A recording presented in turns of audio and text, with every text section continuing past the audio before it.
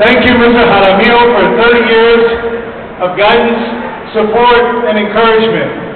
Thank you, Democrats of New Mexico. And to my wonderful, my wonderful and lovely better half, my wife, I love you, and our beautiful son, Rafael, I couldn't do this without you.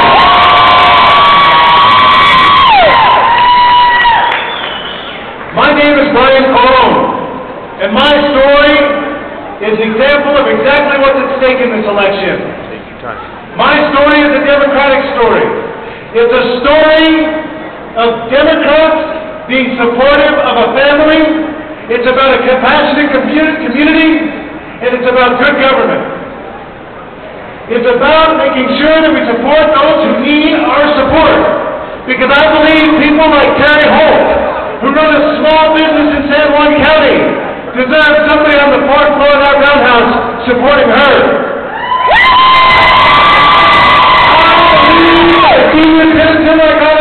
From Deming, the home of pure water and fast by the way, is able to live her life in good health and with dignity. I believe a student like Cynthia Benedict should not only be a proud Lobo, the Lobos, the victors of the Mountain West Conference, you got that right? She should be able to find a job in New Mexico and stay here and raise her family. I believe our friend and great Democrat, Jim Buhog, a distinguished disabled veteran, he should receive the health care, support, and respect from our community that he has earned by serving our country.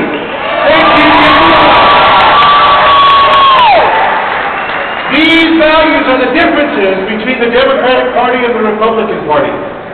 They reward greed in corporate America. We lift up families and individuals. We support those in need. And let me tell you, ladies and gentlemen, they're wrong and we're right, and we shouldn't be shy to say it. Over the last 20 years, I've carried those values and my family's work ethic every step of the way. While I was starting small businesses Cruces, like the Aggie Car Wash, or like the Southern New Mexico Business Journal, or even a laundromat so I could do my laundry for free.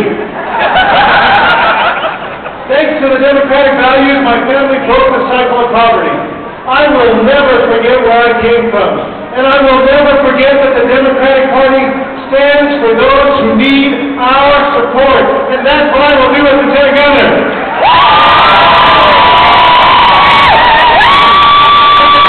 Steve Pearce or Sarah Palin, maybe, they've got some different values. The Republicans have made it clear. And that's why this election is so critical. And that is why I'm running for lieutenant governor. I'm seeking to serve the people of New Mexico for the same reason I served as your Democratic Party chairman. Because, ladies and gentlemen, I stand before you today as a product of our democratic values. And I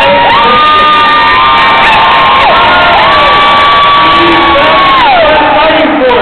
Our campaign is about getting New Mexico's economy moving forward. It's about ensuring high-quality education.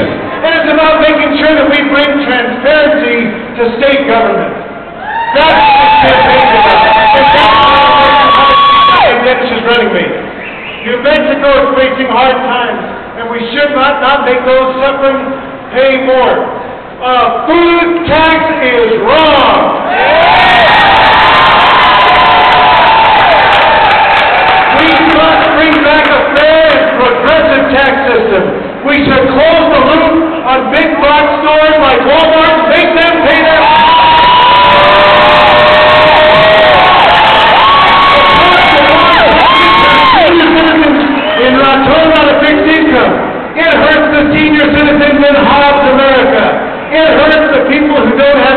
Insurance. And it hurts union employees men and women who are working hard every day in the state of New Mexico who are asked to exchange a furlough Friday with a 2% pay cut. That's not right, and it's not the Democratic Party. Of course, those Republicans would have us balance the budget and cuts alone. The Republicans would have us fire the nurses and firefighters. And by the way, you know, up here, but you know, I was endorsed by the firefighters union, and they said that I would be a hazard, and they didn't want to have to be a first responder.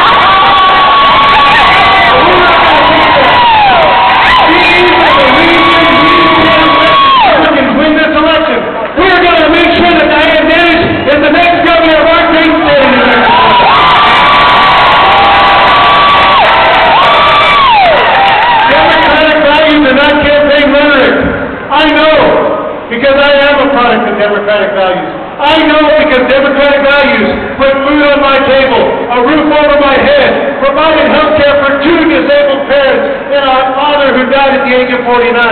That's what the Democratic Party values are, and that's what we're going to fight for in November 2010. We need an economic development plan for every county in New Mexico. The Rio Grande corridor is important, but all of New Mexico doesn't sit on I-25. We need to honor our people like the 22 Pueblos and Indian our culture, our history,